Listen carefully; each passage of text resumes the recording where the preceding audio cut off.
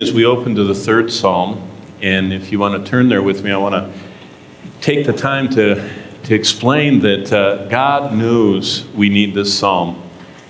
Because the most repeated command in the Bible, in the negative sense, is fear not. We as people are much like sheep, we're very fearful creatures. And David has distressing news coming to him and yet, we'll see in the psalm that he is able to just lay down in the presence of all of his fears and go to sleep. Now, think about the last time you heard from the doctor that you had cancer or you needed some open heart surgery or you were just fired or were going to be fired the next day or you had to go in and see the IRS for something that possibly will cost you tens of thousands of dollars. Did you sleep well? The night before? Most humans don't. They can't sleep because fear robs us of the ability to absolutely relax and trust.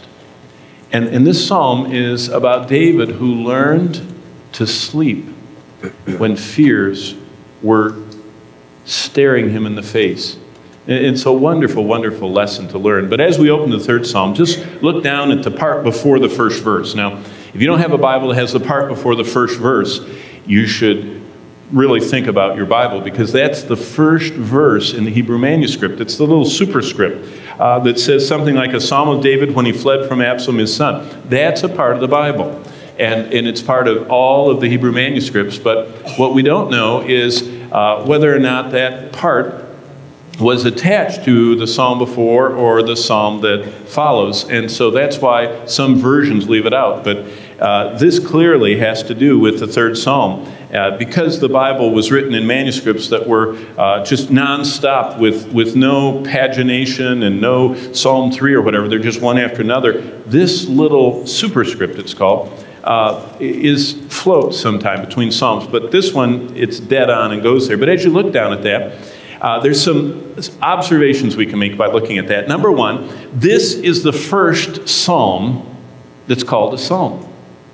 The, the part in your Bible that says Psalm 1, Psalm 2, Psalm 3 isn't in the Bible. They just did that to help you find things. But this little superscript is in the Bible. It was inspired by God, and it's a psalm of David. So, this is the very first psalm in the Bible called a psalm. Now, the rest are psalms. This one's the first one that actually is called a psalm. Secondly, if you look down at that, this is the first psalm in the whole Bible attributed to David. Isn't that interesting? It's the first one that says it's a psalm of David. Now, there's going to be 72 more as you go through the 150 psalms, but this is the very first one in the book of Psalms attributed to David. Thirdly, this is the first time that we see the usage of the emphasis uh, device. That's that word Selah. It's right at the end of verse 2, it's right at the end of verse 4, and it's right at the end of the psalm. So this is the first time that we have this Selah. It shows up 68 more times in 38 other psalms, but this is the first psalm that has it present. And finally, if you look at the rest of that little superscript, this is the very first inspired setting for any psalm. That's why we'll spend time this evening looking at the setting. Because it says in the rest of that superscript, a psalm of David, when he fled from Absalom, his son. Wow. So that divine title, background, setting, tells us that this is a message from God for how to deal with fear. That's why he put this little tag on here, because if we didn't have that little tag, this psalm would be just like all the other psalms. You wonder what's going on and why that particular thing is being sung about. But this psalm is a psalm about David fleeing for his life, pursued by his own son, in one of the most fearful and sad times in his life. And it becomes a rich source of how to learn to sleep when fears are completely surrounding us. It, it, that's why God, I believe, put the little tag on the front of it because He knew we're fearful creatures and we need lessons. Well, the biblical setting for this psalm is found in 2 Samuel 15. So, if you haven't yet uh, marked that, because I've alluded to it several times, you ought to grab your pen, pull it out, and just write somewhere by Psalm 3, and especially by that little superscript, write 2 Samuel 15, 30 to 32, because that's the backdrop for this psalm. And if you want to remember this lesson, in fact, if you ever do get a notice from the IRS that, you know, they think that you owe on several hundred thousand dollars of income you don't think you had, or if you ever do get a notice that you have to appear in court for something you didn't do, or if you do get that blood test that says that the doctor needs to talk to you and you can't sleep, you ought to pull out this third psalm and, and say, ah, I should be able to sleep when fear surrounds me. Because God gave a lesson through David of what to do the next time fear is just looking me straight in the eye. And, and even sleep is a reflection of trust. And I need to learn to trust and know that God is taking care of me. Well, now that we have all that, back up to 2 Samuel 15, because I want to read the backdrop before we go into the psalm. Because if God thought that the setting was so important that he gives us the very first psalm that is called a psalm, and the first psalm of David, and the first psalm that has emphasis, those selahs in it. And he adds to all that that this is the first psalm that has an inspired, historic backdrop. Then he wants us to remember that historic, inspired backdrop. So in 2 Samuel 15, verses 30 to 32, this is, and, and in a moment I'm going to read it with you, this is what needs to be just, just in technicolor in front of us as we read the psalm. Because if you can see, if you can feel, if, if you can just uh, get a, get a complete sense of, of what's going on around David as he writes this, then every word of the third psalm is completely impacting our life. And we'll learn kind of the lesson that David learned. And so that when fear does steer us in the face, we can have the same peace that he had. 2 Samuel 15, verses 30 to 32. Now that you're there, let's all stand together, and standing will help us because it alters our, our normal pattern. It helps us remember more, and it's also out of respect for God's word. And let's listen to the Lord speak to us. 2 Samuel 15, 30. So, David went up by the ascent of the Mount of Olives and wept as he went up. And he had his head covered, and he went barefoot. And all the people who were with him covered their heads and went up weeping as they went up. Now, that is a very graphic picture. Verse 31 And someone told David, saying, Ahithophel is among the conspirators with Absalom. And David said, O Lord, I pray Turn the counsel of Ahithophel into foolishness. Verse 32. Now it happened when David had come to the top of the mountain where he worshiped God. That's really where I believe this psalm was given to his heart. I don't think he wrote it right there. He couldn't have. He was barefooted, crying, bleary eyed, surrounded by crying people, and all the other stuff we saw last time. But there, is where David paused. In his tears, surrounded by his fears, and he worshiped God. Amazing. What a blessing. Let's bow together. Father, I pray that us who you tell so many times to fear not, to us who your most often repeated negative prohibition recorded in the Bible is for us to stop fearing. You do not operate in the realm of fear. That's the devil's realm. You do not give us a spirit of fear, but of power and of love and of a sound mind. And so the devil finds access and entry and grounds for defeating and debilitating and, and totally getting us off course when we are afraid. And so I pray that, like David, when we're afraid, we'll trust in you. And we'll use every one of our fears as a springboard into faith and trust in you. And then maybe the devil will quit sending us so many. And maybe that we will learn by habit to face our fears and to trust in you, O God.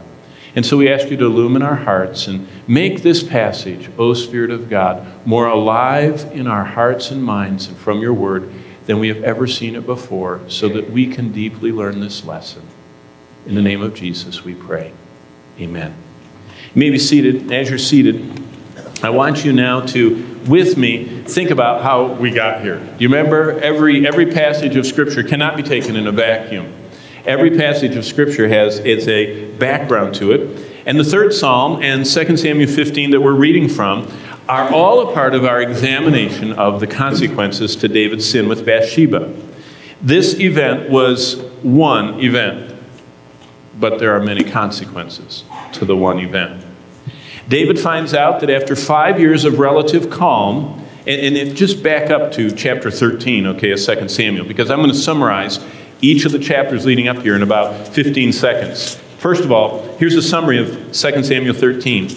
David finds out that after five years of relative calm, under the surface, trouble has been brewing. Amnon's raping his half sister Tamar uh, led her full brother Absalom to murderously plot against and then kill Amnon, David's oldest son. That's the 13th chapter. And so, you know, there's this little blip in the, in the family life, you know, a little, little quiet, kept under the carpet, you know, raped by one half brother of a half sister, and the full brother starts seething. And so he murders his brother. And then five years pass, and kind of David thinks, oh, stuff's calmed down. Now, chapter 14.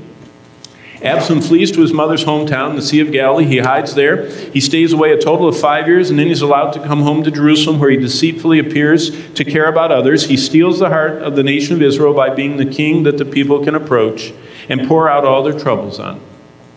That's the 14th chapter. Absalom comes back, and he's so, such a good actor. And he says, I'll be the king David never was. I have time for you. Come and and, and he won't even let anybody bow. He just, he just reaches down and, and just shows this false humility. Well, then the true Absalom comes out, chapter 15. Absalom moves.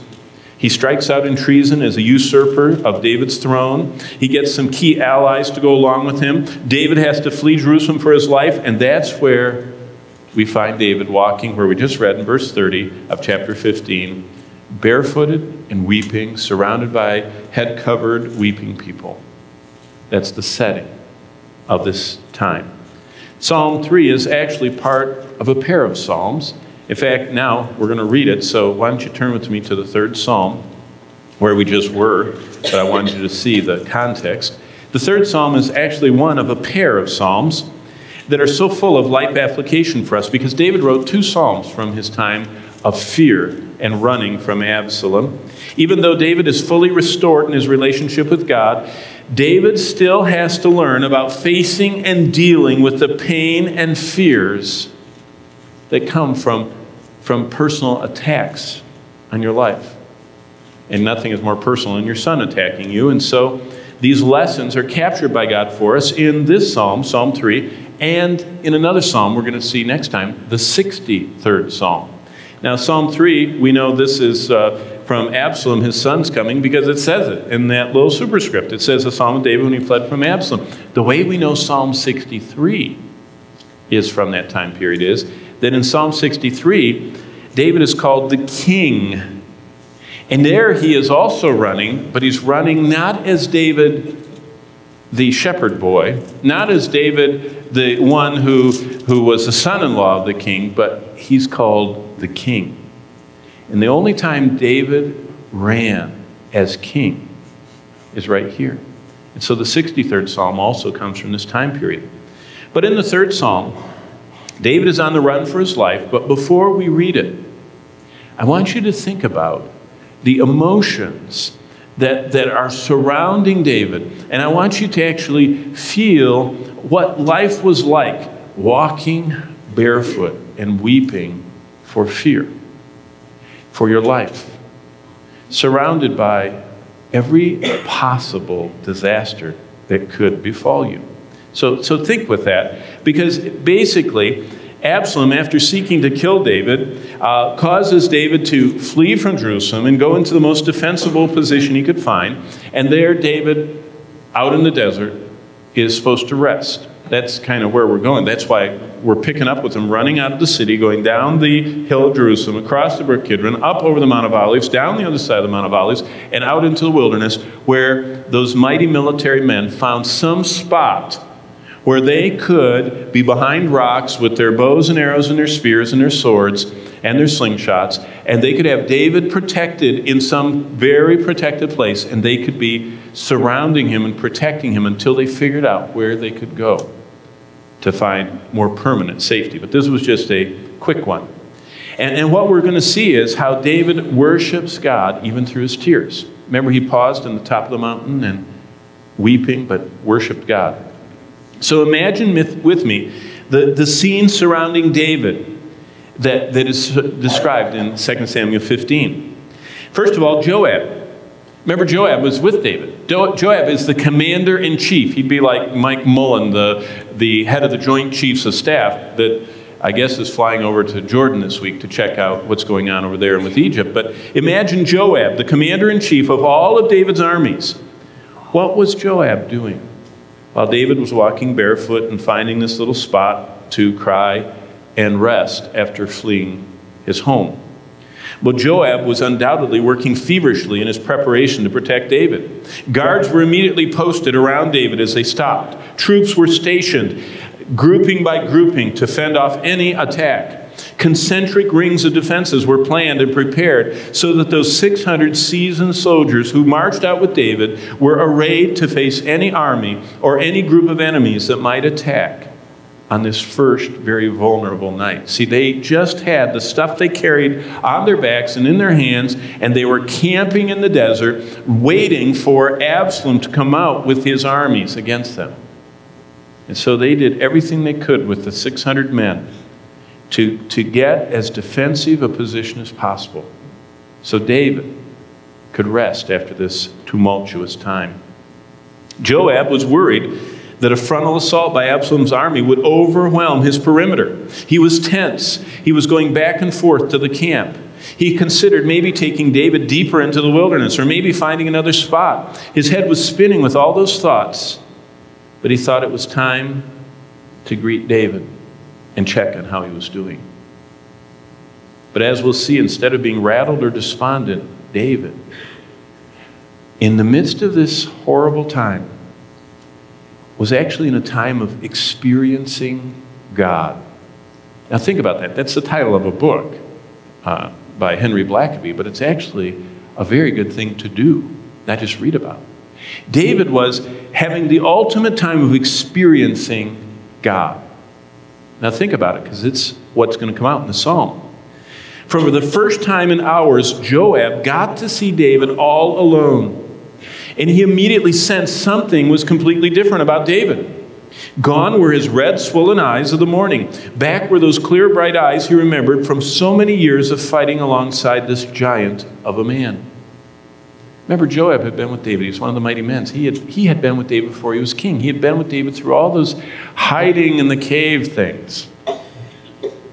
Instead of anger and self pity or fear, David was calm, peaceful, and actually visibly joyous as he began to tell Joab what the Lord had done in his heart.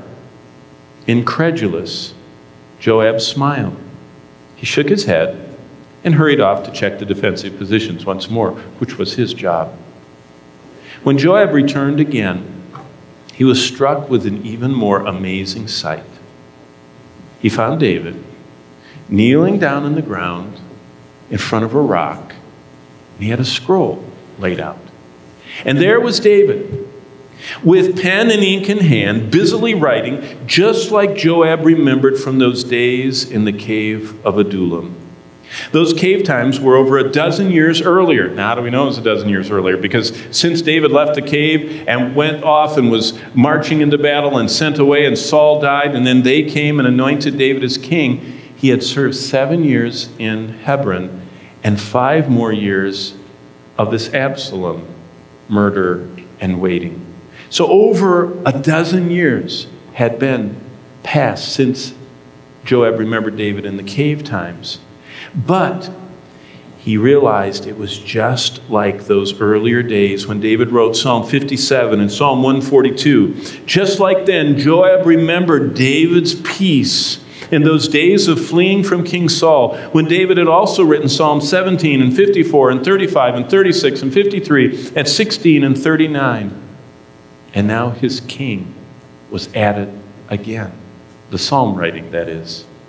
Once finished, David held up the scroll to the fading light of the evening sky. He read it over, quietly sang the words to a tune he'd just made up, rolled the scroll up, tied a cord around it, tucked it in his cloak. David had written another song. Only it wasn't just any song, it was a psalm. It's what we call Psalm 3.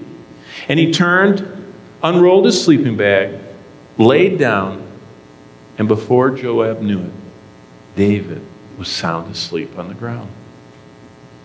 That's the setting of this psalm. David, in the very presence of his enemies, in the middle of the camp that could be overrun at any moment, David was sleeping. And Joab marveled again at what a person after God's own heart looks like. Because Joab had witnessed David's results of experiencing God. Where we decide to turn in our most desperate moments and how we face what we never wanted or dreamed of ever happening reveals what is really on the inside of us. And what came out of David at this excruciating time was a song that was so good God has forever recorded it in heaven. Now, just the fact that in your Bible is this third song or third psalm means that it's a part of the forever recorded in heaven scriptures. You know, when I lived in California early on in ministry, Bonnie and I were newlyweds, we lived next door to a platinum record person. They had so many plat I don't know how many you have sell to have platinum thousands, tens of thousands, hundreds of thousands. But when we would visit our neighbor, in his living room were all of his platinum records that he had recorded and sold, however many you have to sell to be platinum. And I thought about every time there was an earthquake, whether they all fell down and whether he put them all back up, you know? And I thought when, when someday the brush fires would burn his house, whether he would get replacements. You know, things are so transient in life for us. But David's song was better than any of today's topping the charts or billboards, gold or platinum. This is the exact record before us of the song that flowed from David. And now, with that in mind, follow along in your Bibles. Look at the first verse because we've already looked at the superscript. And this is what David wrote from his heart at this moment we just thought about. Lord, how they have increased who trouble me. Many are they who rise up against me. Many are they who say of me, There is no help for him in God. And then he wrote the first Selah, which means pause and think about it for a moment.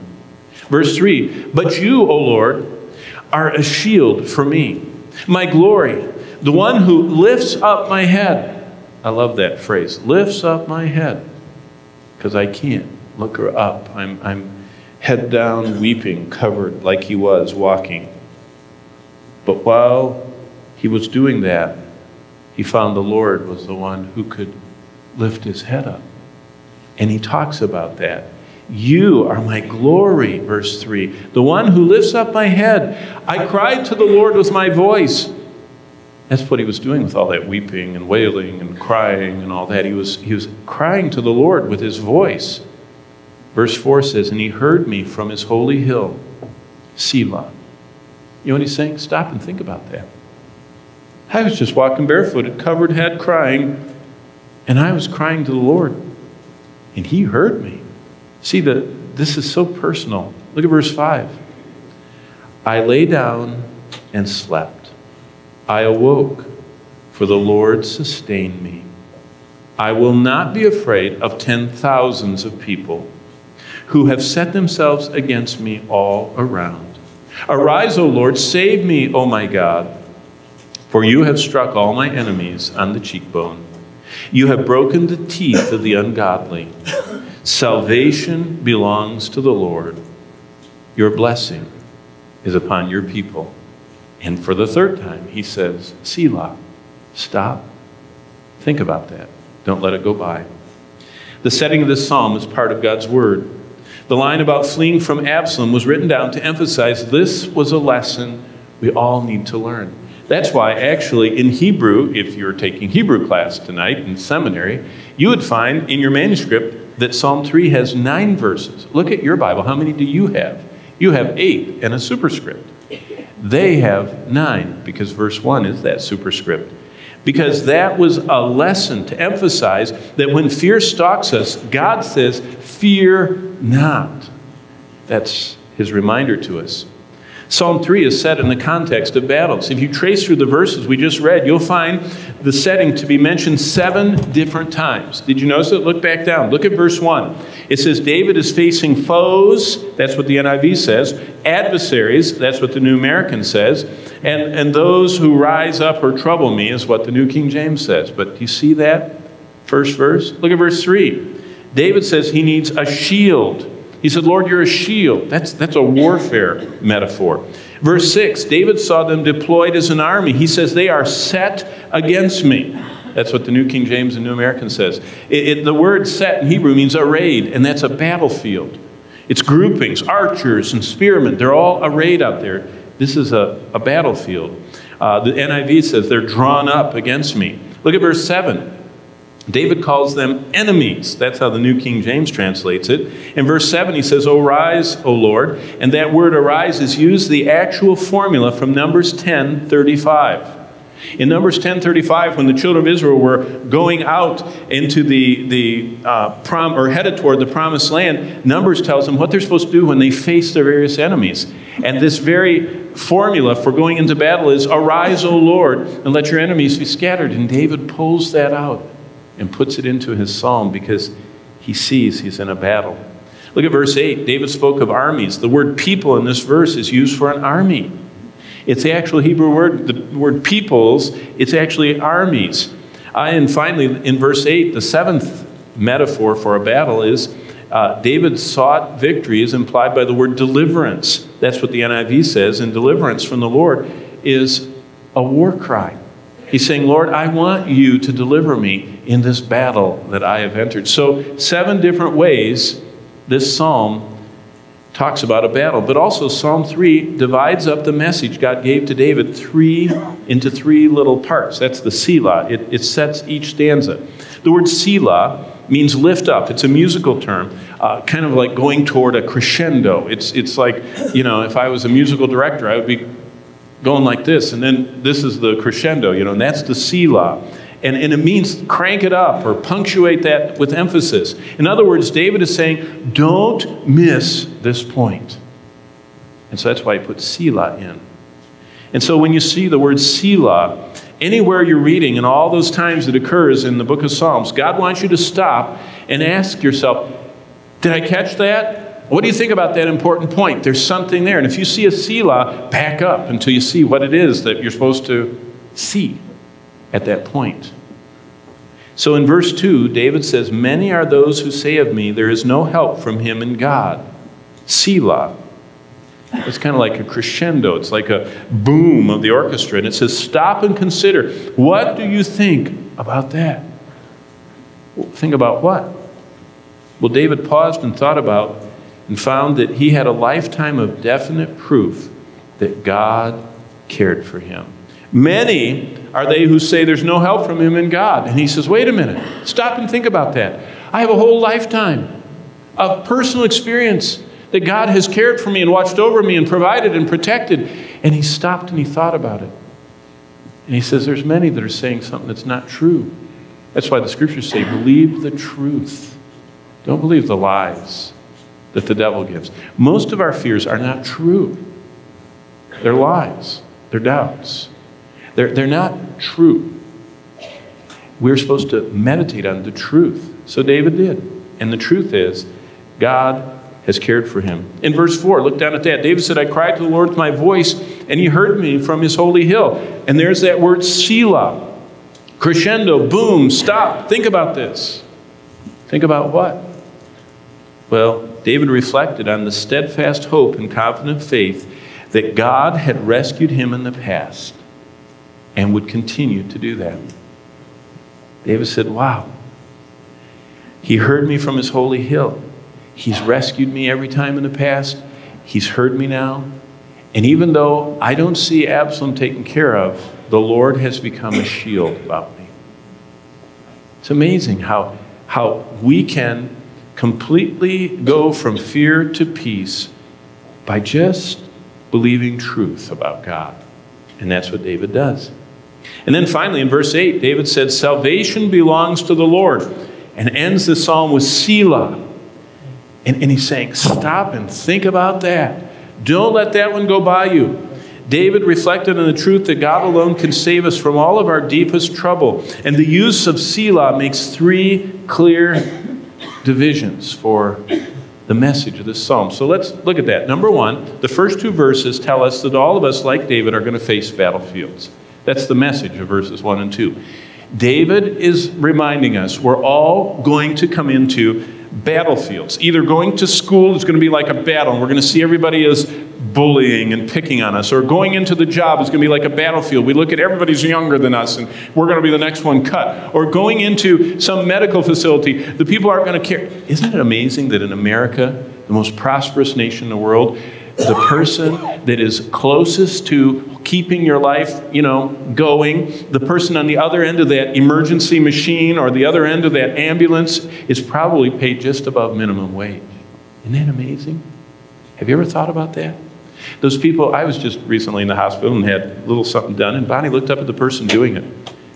And, you know, here I am connected to this machine, and they're doing all this, and she says, Have you graduated from college? And he said, No, I went to the technical school for one year. Bonnie said, And you're running this several hundred thousand dollar machine, and, and it's all hooked up, and my husband's blood is going through it. And they said, Mm hmm. And I thought, isn't it, isn't it amazing that in America, we entrust our lives to machines and to people that don't make the hundreds and hundreds of thousand dollars that doctors do. They just are, are normal people with normal education. You know, if, if you stop and think about it, you can go into a medical thing and start getting afraid. What if the person testing your blood and dripping it, what if they, you know, don't really know and they don't tell you? You know, and we can just, we can go to school to work into the medical or into the financial field and you wonder if there's anybody on the other side of that electronic transfer. And we can just live in fear. And David said, no, we're all going to face battles. Every one of us will face a variety of battles daily. Whether it's the workplace, which is largely cutthroat these days, as more and more people compete for fewer and fewer jobs with less and less job security, we endure personal attacks and abuse, which is the norm in the workplace. Competition prompts the ungodly use of weapons such as lying and slander and gossip and misrepresentation and bribes and stealing and falsification and blame shifting, all for them to gain advancement. How many enemies does it take to make your life miserable? Just one if they're persistent, right? Just one person. And David says we're all going to go through battles. Our battlefield may not be the workplace, it may be our home. Even though you and I will never face an army led by our son seeking to destroy us and our throne, we will someday face personal attacks or slander or abuse through the hatred of one of our children. They may betray us for what we stand for, they may even seek to undermine our family unity or discredit and destroy us as parents. You know, I, I said it on this side in first service and that side in second service. You know what? There's no greater joy than our children walking in the truth. And there's no greater pain than when they don't. No one can seemingly hurt us more than those closest to us. Those we beget, those we marry, and those we share our lives with, and those that are our very closest friends can hurt us most deeply. And that's what David felt. Some of us may have to deal with personal attacks and slander from a husband or a wife who's turned against us with no warning, deserted us, seeks to harm and torment us by breaking the lasting promise made in marriage. And others may face parents who turn against them, abandon them, are slanderous, abusive against their very own children. Life is hard, sin is horrible. People seem more willing to harm others easily than ever before. And that's why David said, Stop. And think about that. That's why at the end of verse 2, he says, Selah. He says, think about it. Life is like a battlefield. You never know where the next missile's coming from, the next deadly force is heading your way. That's what life is like. But he doesn't stop there. Look at verse 3. Second, David says we all have to make choices. David was such a godly example because he turned his attention away from his problems and he focused on God. Suddenly, everything would be put into proper perspective. That's why we saw in 2 Samuel 15 that as soon as the first wave of, of more bad news came to David and they said, Ahithophel has deserted you and he's joined the enemy, David immediately prayed.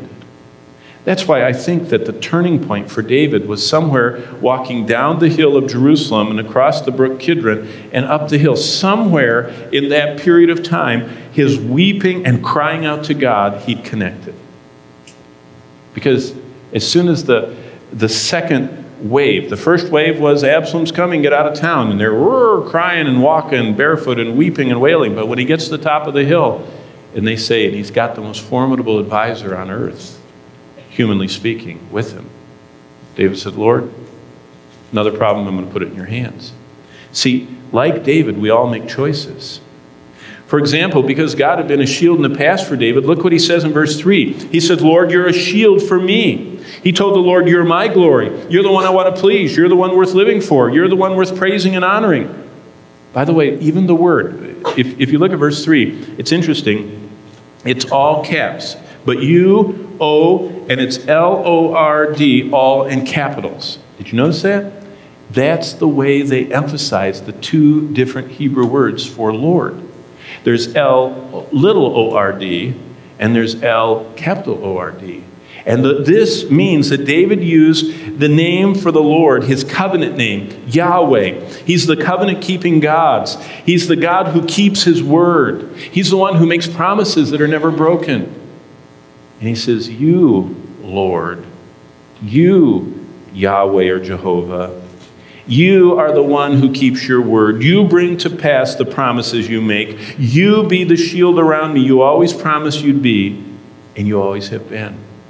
See, it's interesting how David draws upon doctrinal truth he had learned about God growing up.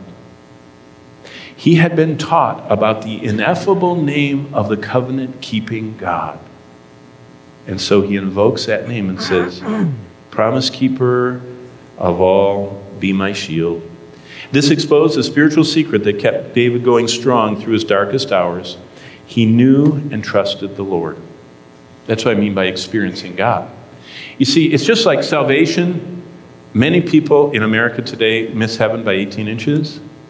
They know all about God, they've just never in their heart trusted Him, called upon Him personally. They just know the facts, they've never experienced God. That's the same truth that Paul was talking about. He says, As you receive the Lord, you walk in Him. We receive the Lord by going from fact to faith. We walk in Him by going from fact to experiencing it by faith. That's the secret David experienced. This trust had stayed constant with him long before his rule as king. So he reminded himself the Lord can be trusted. Verse 3 ends with, You're the one that lifts up my head. Just like in the days when the Amalekites plundered David's house and stole his property and took his family hostage. You remember that was the darkest day of his life. That's in 1 Samuel 30. And he came home from, from work, and when he got over the top of the hill, he looked down, and everything that was important to him his house, his family, everything he possessed was all gone. The Amalekites had burned and pillaged and stolen everything. David had lost his wives, his children, and every possession. And in 1 Samuel 30, verse 6, it says, David strengthened himself in the Lord. He didn't go to a counselor. He didn't go and buy a book. He didn't go to a therapy session. Just David and God had a little, little exchange. You know, in America, we all we, we just want to get it over with right away. And so we want to grasp after something outside.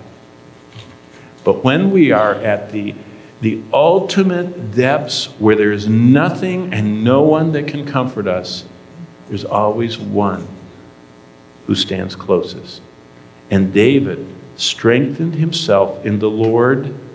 And verse 6 of 1 Samuel 30 says, His God. He experienced God. Now, you know, I'm, I'm not a, a anti-medicine, anti-anything, you know, not anti-psychology, not anti-psychiatry, you know. I mean, you can observe stuff. Medicine doesn't stop at the shoulders. It goes up as well as down. So, you know. But I will say this, in America we have an overdependence upon external substances to solve our problem instead of the internal one that stands by always wanting to help. And David strengthened himself in the Lord his God. And when David was in so much grief he couldn't even look up, he felt the gentle hand of his loving Lord, look at verse 3, under his chin, lifting his head up. Boy, I've done that as a dad. I've seen the kids have something that was their most treasured Lego creation, and they're bringing it to show dad, and they trip and fall, and it, and they just burst into total, you know, dissolution of emotion. And I come down and put my hand on their chin, and I say, you know what? It's okay. We'll build it again. It'll be even better. See, the Lord put his gentle hand under David's chin and lifted his head. Only the Lord can encourage us at the depth needed to heal a broken heart. Only the Lord can lift our heads when we're cast down. And David knew that. He sought that. He wanted that. He experienced that. So now, in his saddest hour, as he's walking down from Jerusalem and up the mountain, he allows the Lord to lift his chin. And as he lays down to sleep, he allows the Lord to be a shield around him. Now, you couldn't see, they're one of those things. You couldn't see the Lord's hand doing that. You couldn't see the Lord as a shield. But experiencing God took the truth by faith and believed it and held on to it. Sin always beats us down. God always lift us, lifts us up. Others may ignore us. God always answers our prayers. In other words, David said, Selah. Look at the end of that. Selah, verse 4. He has heard me from his holy hill. Stop and think about that. God always lifts, God always answers. That's why David said, Hey, I'm going to be able to go to sleep tonight. Absalom's still alive. The army's still against me. Ahithophel's still counseling him. But I can go to sleep. Because the Lord lifted my chin, put a shield around me. Now, look at verse 5. And real quickly, I hope we can cover this. This is a theology of sleep. Some of you have never thought about sleep in a theological way. All of us, like David, need to sleep. Verses 5 through 8 discusses that. At the end of one of the most grievous days of his life, David rested in the Lord. He said, I lay down and slept, verse 5. I awoke. Why? was able to sleep and wake up refreshed because the Lord sustained me. We should always think of sleep as a gift from God to help prepare us to start over again tomorrow. God wants us refreshed and renewed. It is also a picture of how much we need God. And sleep isn't just a picture of refreshment, renewal, and needing God, it's also a constant reminder to us of how we got saved. That's why I said a theology of sleep. Most of you have never thought about sleep, probably theologically. It's an amazing truth to think about that. It's, it's wonderful as a picture of how much we need God, of how we receive His salvation. Sleep should decimate any pride we have in our own power or might and humble us to think how weak and needy we really are. But before I go into theology of sleep, always reminds me of when I was in school. You know, all the students that, that uh, overslept and came into class late and had to face the ire of, you know, in college of the professor. And I remember uh, I went to a Bible college and someone tried to, you know, make it spiritual. And they says, how come you're late? And they said, well, you know, I was, I was uh, with Dr. Sheets, uh, you know, at Bedside Baptist, uh, you know, the Church of the Inner Spring. You know, and they were just going on and on about that. And the teacher said, no, what you need is mind over mattress. And, uh, you know, that's, that is one way to look at it. But that's not what we're, we need to think deeply about why God designed sleep. Number one, sleep is not an accident.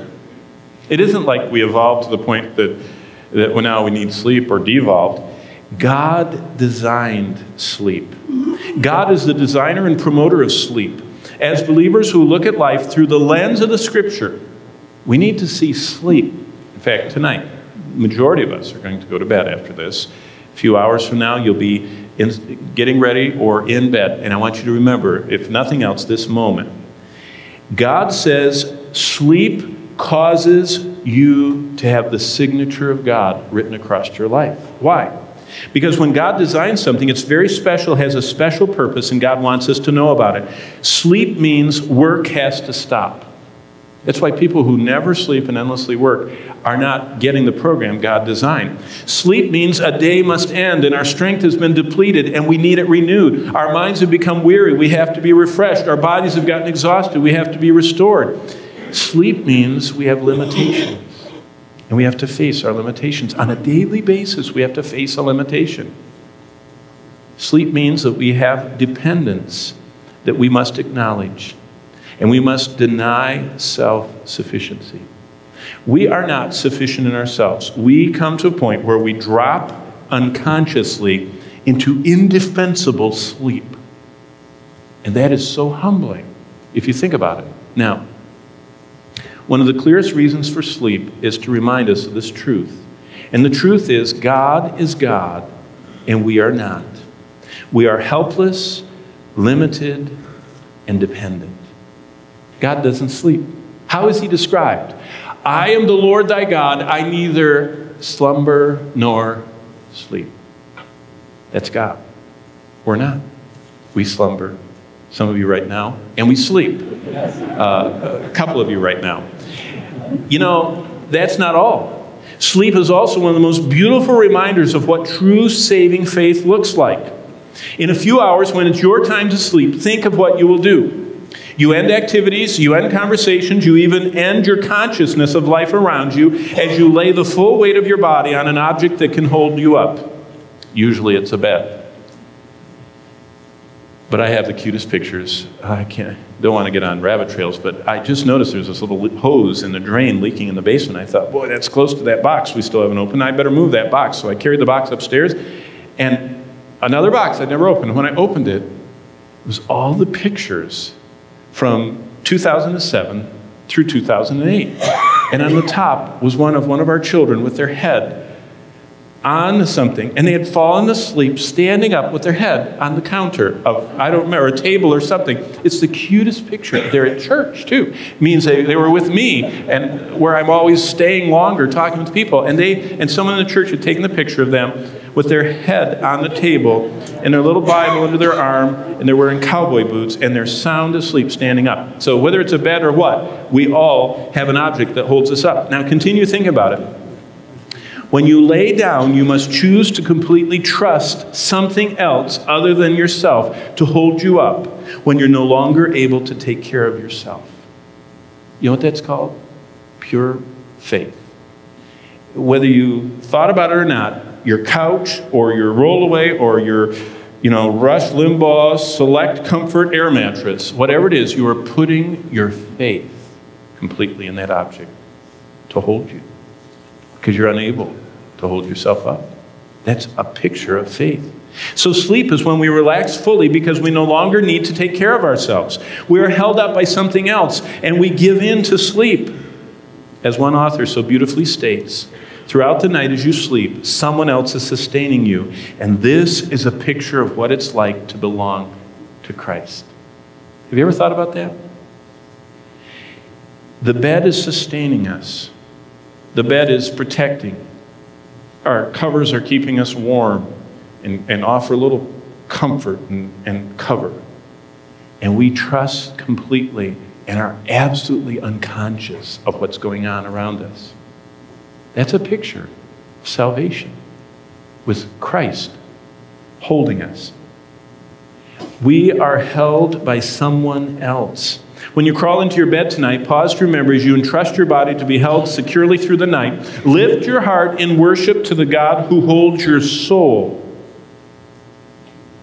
in the sweet comfort where he said, If you are in Christ and God, nothing can get you. You are hidden with Christ in God. You and I are securely held with Christ in God. That's what sleep should remind a believer of every time we drift off into sleep, even here in church. Tell the Lord you are also resting your life in Him. Whisper before you fall asleep that you completely need Him, that you're going to trust His care. You ask Him to get rid of any pride you may have built up throughout the day. That's the supreme peace David felt as he laid down in the presence of his enemies and slept in humble dependence on God. David learned a lesson. He could look fear in the face and go to sleep. Why?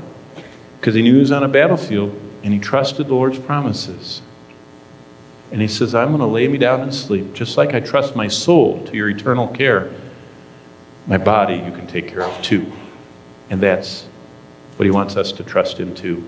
Just before we go tonight, we have three minutes left. Why don't you take uh, your hymn books and look at number 43 with me? Because hymn 43 was written by that one that wrote that other great one I love. Uh, Living for Jesus, a life that's true. Living for Jesus was written first, and it was it was kind of like uh, Thomas Obadiah Chisholm's uh, confession that he was going to trust the Lord. He he wrote about seven years later this one. It's kind of like the testimony that God can be trusted. The one who said, "I'm going to Jesus, Lord Master, I give myself to you, seven years later said, Wow, as I look back, great is thy faithfulness, O God my Father. There's no shadow of turning with thee. You change not. Your compassions, they fail not. As you have been, you forever will be. Great is thy faithfulness. What a good way to end. That's the capital L O R D, the covenant keeping God. That when you go to sleep tonight, say, I've trusted my soul to you. Can you take care of all the other things too? and drop off like a rock. Let's bow before him in prayer. Father, I thank you that David could sleep in the presence of his fears and his enemies, and so can we. You have told us over and over and over again fear not. Lord, tonight, let us roll our cares upon the Lord, for you can sustain us. You are faithful and we worship you now. In the precious name of Jesus, we pray. Amen.